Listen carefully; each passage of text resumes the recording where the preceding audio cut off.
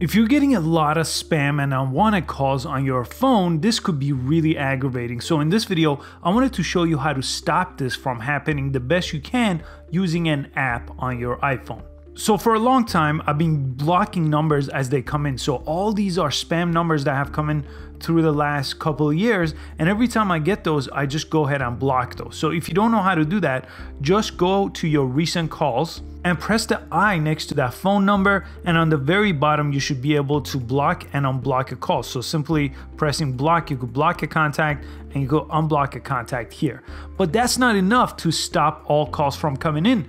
This is a way to stop numbers that keep bothering you, to stop bothering you by blocking them. To stop this from happening in a more efficient way, you want to download an app. And the app that I'm gonna use is called Hiya and it's gonna identify and block scam and unwanted calls. So I'm gonna go ahead and download this app. This one is completely free, so you could go ahead and use this. I'm gonna go ahead and open this app now that I've downloaded it.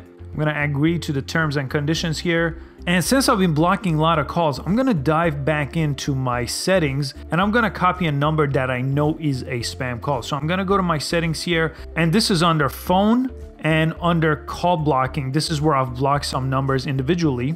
And now I could allow these apps to block calls and provide caller ID. So here, because I have Hiya installed, I'm gonna turn on spam and block just right here in the setting. I'm gonna go ahead and copy one of these numbers too, just to see what that app tells me about this number. So now let me go back to that app and I'm gonna go ahead and type that number in and I'm gonna search for it and it's gonna tell me that this is from a Walmart landline in Alabama. So now I could go ahead and block this number. It was already blocked, but this is the way that you would go ahead and block a number if you know about these numbers. And I'm gonna go to protect on the bottom.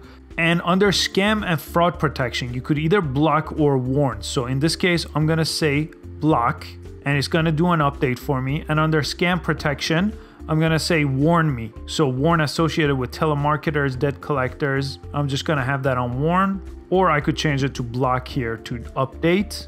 And there are a few other options here.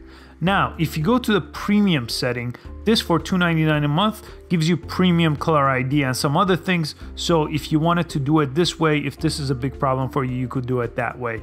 But right here under protect, this should really get started. It says you're now protected from 173,000 spam and spam numbers. So those numbers can no longer reach your phone. So it's not like having to block them one number at a time, but you could go ahead and identify and block numbers like this.